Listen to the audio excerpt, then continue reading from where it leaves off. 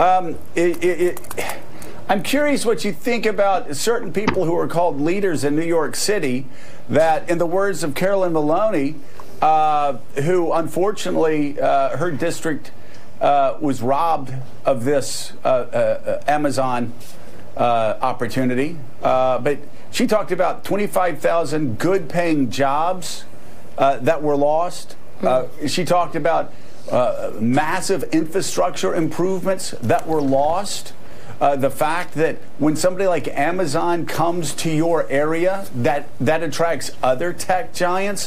the opportunities lost there are extraordinary for people, as Andrew Ross Sorkin said, who don't even understand basic economics. They actually think you know, all that money in tax incentives, if the jobs were brought and all the other great things happened to that area. You know, he says there's a financial literacy epidemic in America. Quick lesson New York City wasn't handing cash to Amazon, it was an incentive program based on job creation and how much tax revenue they created. There isn't $3 billion that can now be spent on subways or education.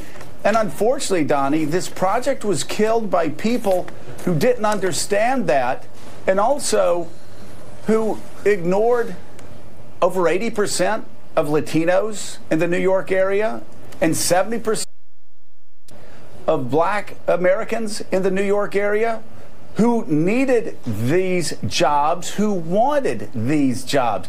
End of the line, the people who wanted the jobs the least to come to the area were white elites in Manhattan, according All right, I'm going to stop it right here, Barry.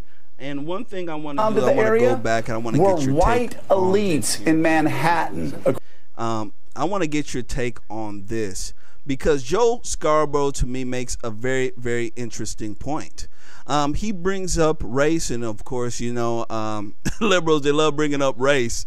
He brings up how many Latinos were in the city who needed a job that couldn't get a job. How many blacks that needed a job couldn't get a job. Is he making a solid point on this here?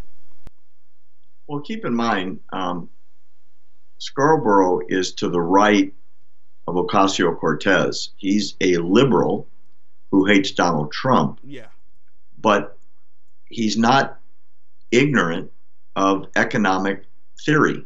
And he understands the fact that people that desperately needed jobs aren't going to have those jobs because there's no employer standing in line behind Amazon saying, hey, we'll take all that property, we'll create 25,000 jobs. So the devastation crosses all colors and all ethnicities men, women, black, white, Latino, you name it. Everybody's getting hurt by this. And he understands that. Ocasio Cortez doesn't. He's trying to school her on it, but I doubt she'll listen. That's part of the problem is this young lady thinks she knows everything. I mean, we haven't even talked today, thank goodness, because I can't do it every day, about the great new Green Deal, which is the dumbest economic, I mean this literally, the dumbest economic proposal ever advanced in the history of the United States of America. And she thinks it's a great idea because she has no understanding about economics, certainly not at a national level. So mm-hmm. your morning Joe buddy gets it. Jobs are lost. That's bad. The people that lost the jobs that they would have had are hurt. And nobody's going to step up to help them.